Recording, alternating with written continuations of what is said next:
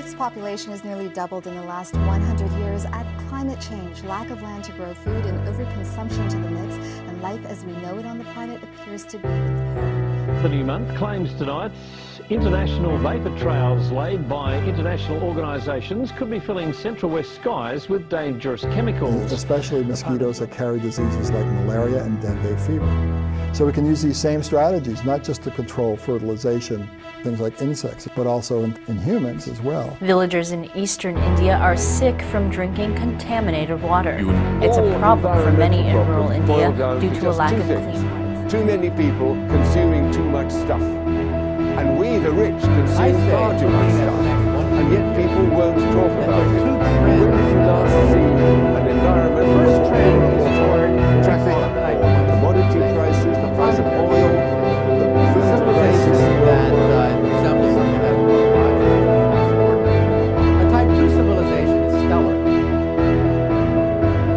The question is, can we make the changes necessary fast enough?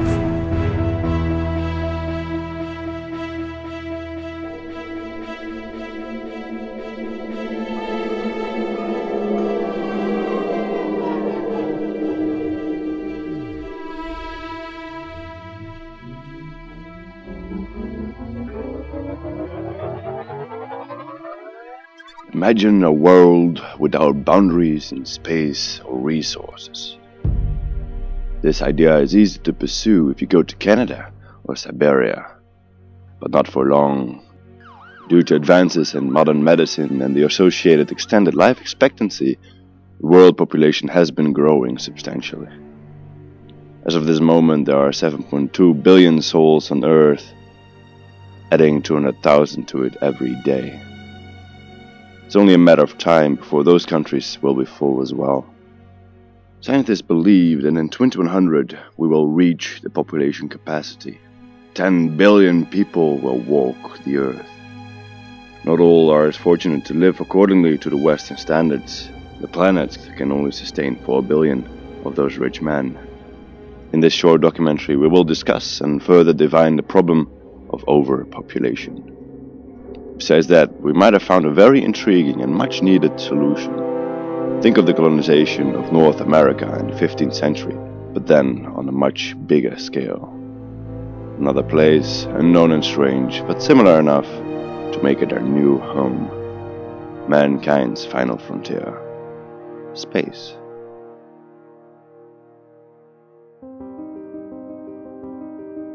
Overpopulation means that the area cannot provide enough resources to the vast number of people in it. To comply to the bare necessities of life, the demand is bigger than what the Earth can provide.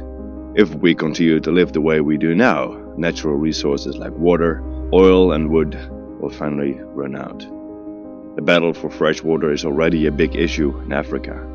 Poor people simply cannot cover the costs of water, and the gap between the rich and downtrodden is getting bigger. This and the fact that people are also forced to live closely to each other, causing friction and irritations, can lead to major social tensions. But these social changes are not the only changes that occur. Strong growth in populace affects the Earth and her inhabitants in various other ways, such as on a physical, geographical, and demographical level. There is a discussion whether the growing population is connected with climate change and in particular the greenhouse effect, pollution, and the heightened carbon dioxide concentration in the atmosphere.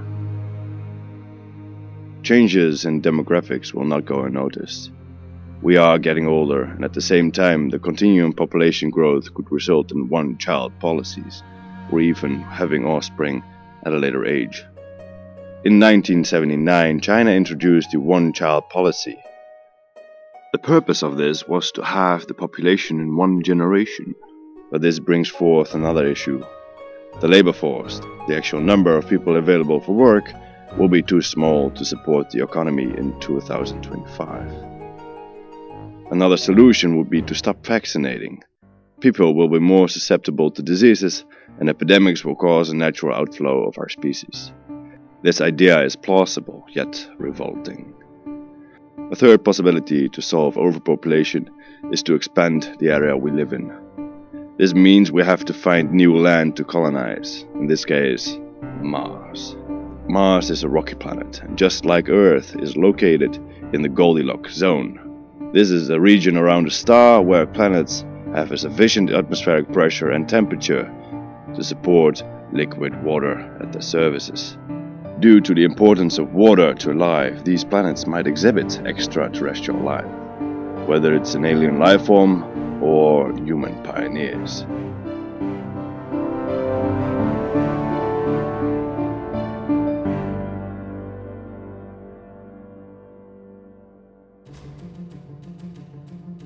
As of this moment, Mars does not support life. The air pressure is at merely 1% of that of Earth, and the mean temperature is minus 55 degrees Celsius. But as seen here on Earth, Homo sapiens can have a planet-wide impact. We can change the planet, making it a good, pleasant place to be. In order to do this, we need to understand the way the planet reacts to our activities. Building a closed-off system without interaction with the outer world would give us the ability to study the steps needed to colonize Mars. Texel, an island in the Wadden Sea in Holland, gives us a good place to build this complex. The complex consists of two enormous domes, connected by bridges. One dome is used to simulate Mars and how to terraform it.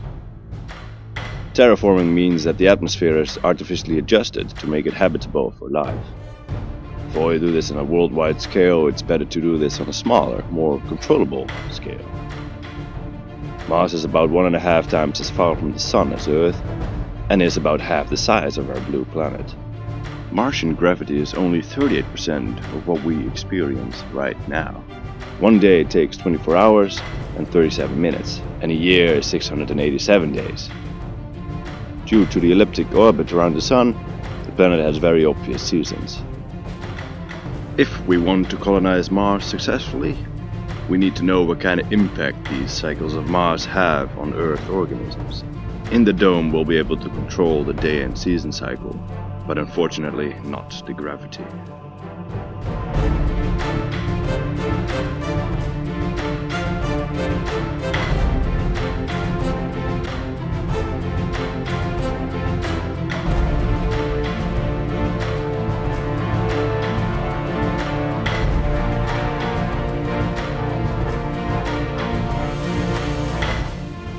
The other dome is to simulate Earth. This dome is completely self-sufficient and does not require anything from the outside to operate. Eventually, this building can be transported to or be built on Mars.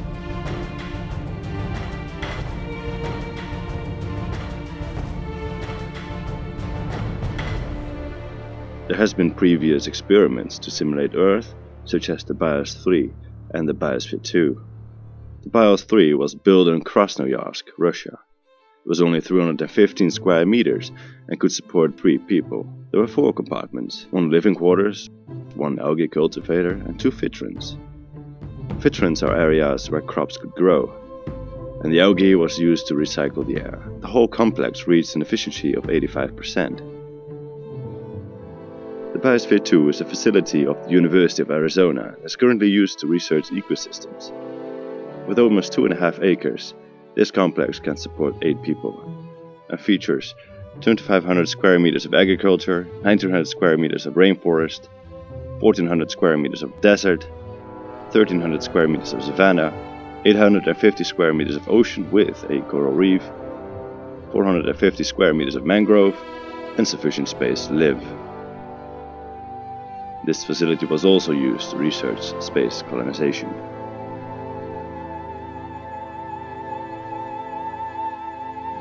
In order to have a facility on Mars, it must meet certain requirements to withstand a hostile environment. Vacuum, high solar radiation, and extreme temperatures exhibit forces on the edifice. Inside, there's a system that regulates the atmosphere and circulates the air. Food and water are produced and recycled. The facility must be big and efficient enough to sustain a large amount of people indefinitely. 95% of Mars' atmosphere is carbon dioxide. But even more of this carbon dioxide is stored in the southern polar cap. The temperature there is currently minus 126 degrees Celsius. If the temperature is increased by 4 degrees Celsius, this carbon dioxide will be released. Due to initiated greenhouse effect, this temperature will continue to rise. Eventually, the whole polar cap will melt and the pressure would increase to about 30% of that of Earth. This is enough for people to go out and walk the planet without any special kind of suit to endure the pressure. There are a couple of methods to warm the planet, but only three of them look promising. The first one is to build a mirror in space. With a diameter of 125 kilometers, this mirror will reflect sunlight to the southern pole. Second method is to find asteroids that are rich in ammonia the idea is to redirect these and let them crash onto Mars. Ammonia is a strong greenhouse gas. It should induce a rise in temperature. The last solution is one we're very familiar with, a method we're actually using right now. Factories. But then the factories on Mars will produce greenhouse gases as their main product. The atmosphere is now warm enough to support liquid water, but this is not enough to have plant life. A lot of nitrogen is still trapped in ice. But once all that ice melts, and a lot of nutrients have been added to the atmosphere and water, plant life can finally begin and generate oxygen.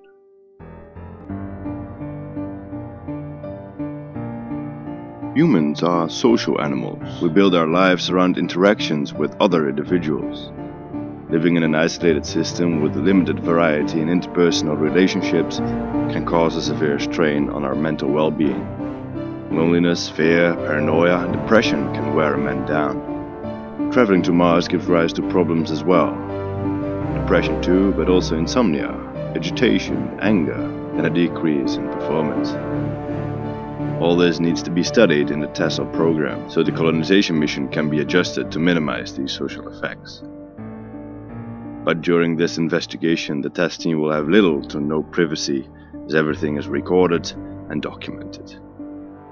According to experiments in Antarctica, a mixed crew of different cultures and origins works the best. The crew needs to understand the design and construction of the whole mission. They need to know they can expect psychic and physical changes and they need time to adjust to it. They need to work very hard but also get enough time to relax the mind. Selecting the right people is crucial for the success of the expansion of the human empire.